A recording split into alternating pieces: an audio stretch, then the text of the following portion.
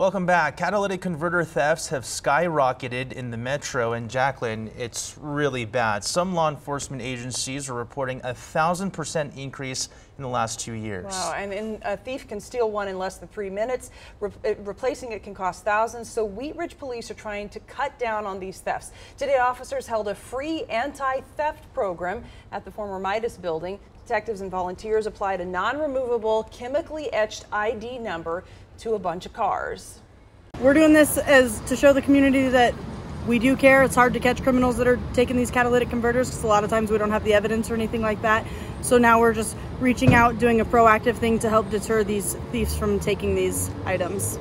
And that ID number will be entered into a national database to include your car information. This was really a popular event. We just checked and 300 vehicles showed up for today's event in Wheat Ridge.